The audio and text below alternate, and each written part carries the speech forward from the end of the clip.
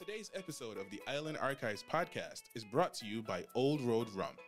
Old Road Rum is driven by a desire to celebrate the cultural history of St. Kitts and Nevis and is tropically aged for 12 years to present the pure expression of a well crafted rum.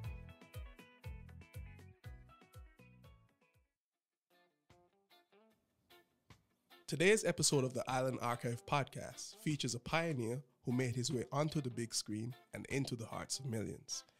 Sidney Poitier was born in Miami, Florida in 1927 while his parents were visiting as they were Bahamian farmers who traveled to sell their produce. Poitier was raised in the Bahamas, specifically on Cat Island, until he moved back to Miami at the age of 15. Lying about his age, you had to be 18 to enlist, he joined the army at age 16. Then, he pretended to be mentally ill in order to obtain a discharge after nine months, and later admitted the rules in his book, The Measure of a Man, a Spiritual Autobiography. After moving to New York, he was able to obtain a job at Harlem's American Negro Theater and as a dishwasher. But he had two major issues that cost him his job at the theater his heavy Bahamian accent and limited reading ability. So, to overcome his so called accent issues, he began to practice imitating radio announcers, as we would now call code switching. And as fate would have it, a waiter would teach him to read more fluently by using the daily newspaper during their breaks. After much tribulation trying to become an actor, Poitier broke onto the scene in Blackboard Jungle, where he played a gifted student in an interracial school.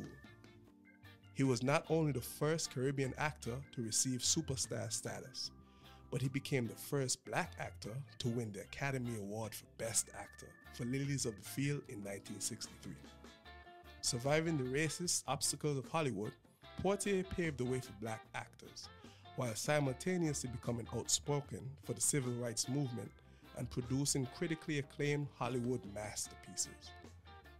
Apart from being an author, shout out to the waiter, he served as an ambassador for the Bahamas and also received the Presidential Medal of Freedom in 2009, presented to him by another pioneer, some guy named Barack Obama.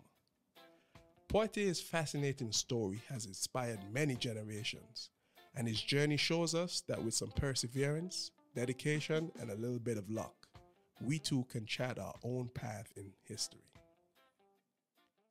The Island Archive podcast is a Pelican Media Group production and is brought to you by Old Road Rum.